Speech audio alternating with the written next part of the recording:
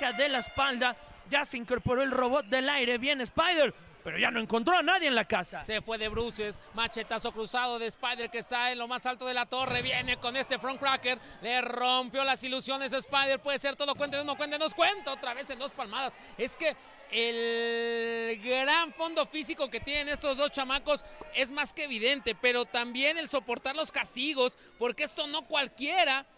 Esto es eh, verdadera lucha libre en cuanto a castigo se refiere. Llevan sobre la esquina ahora a Spider, el lazo poderoso de Noisy Boy, patada en todo lo alto, prepara el camino, Spider parece estar mareado, parece estar en malas condiciones, Noisy lo quiere aprovechar, lo decíamos, se conocen sus fortalezas, pero también conocen sus falencias, acá está Noisy Boy desde lo más alto de la quebrada, el impacto poderoso en una Frankensteiner, con la cual puede ser definitiva la victoria de Noisy Boy. Conteo de uno, conteo de dos, dos segundos, no llega a tercer palmada, ya van tres ocasiones en las que Spider-Fly ha estado a punto de caer, de sucumbir, pero no, no tiene esa fuerza que se necesita Noisy para derrotar a uno o a su mejor amigo, porque él mismo lo ha comentado, lo, lo ha mencionado. Ya se incorpora Spider-Fly, no se percataba Noisy, le da la espalda y viene con la cavernaria. Se rinde, no se rinde, va a aguantar, no va a aguantar por allá haciendo una variante eh, prisionándolo de los eh, brazos y se rinde Reyes Rosas, no da la señal, ahora sí, se acabó, ya no aguantó más Noisy Boy y la victoria es para Spider-Fly.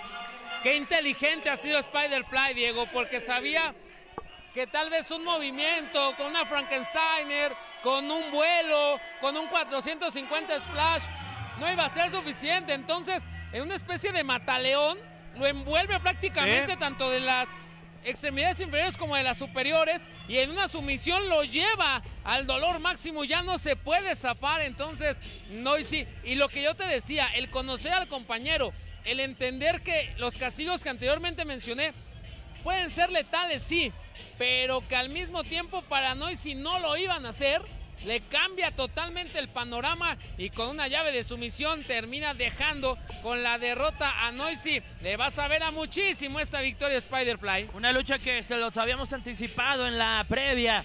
No lo iba a decepcionar. Los dos se han entregado a más no poder. Y todo indicaba que Spider-Fly se iba a ir al vestidor con la derrota.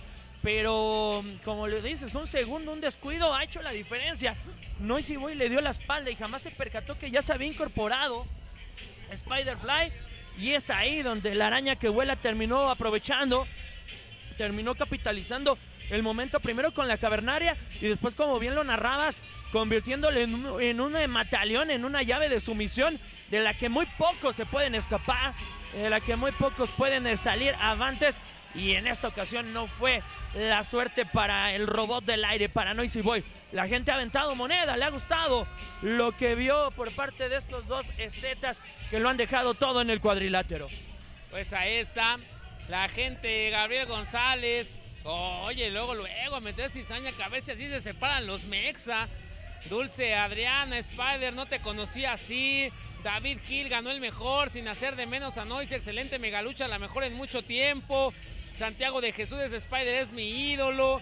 Dulce Adriana, espero que no se meten problemas. Pues ahí está toda la gente en el chat en vivo en IWRG. Y el reconocimiento de Spider, al final son profesionales, son comparsas, son confidentes. ¿no? Y si le reconoce con un aplauso a su compañero. Y ahí está se funden en un abrazo en el centro del tapiz de IWRG. Como tiene que ser, eh, una vez terminada la lucha.